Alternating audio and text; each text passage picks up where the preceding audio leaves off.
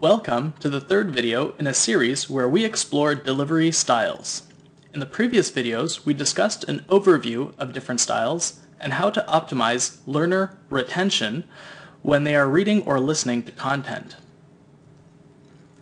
Let's talk about our third delivery style, where learners practice.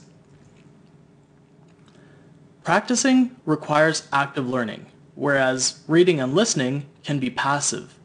Practice problems are one way for learners to get early feedback on whether they understand the content.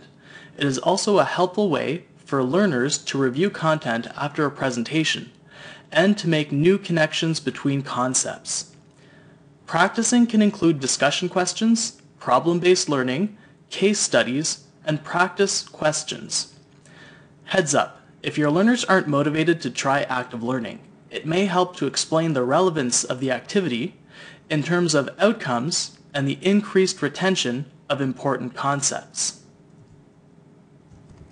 Here is an example. At the end of a research lesson, I ask learners to log into Socrative. Then I start a quick question quiz.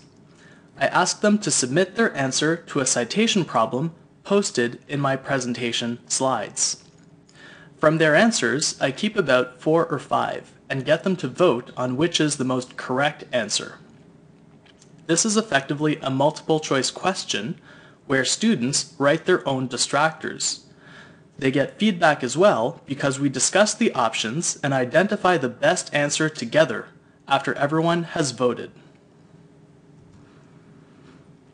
In summary, we discussed how learners learn by reading, listening, and practicing. The best delivery options depend on your outcomes. Knowing the strengths and weaknesses of each style will help you pick the best one for you. There are more delivery methods and even more ways to combine them. Be adaptable to your audience's needs without losing sight of your outcomes.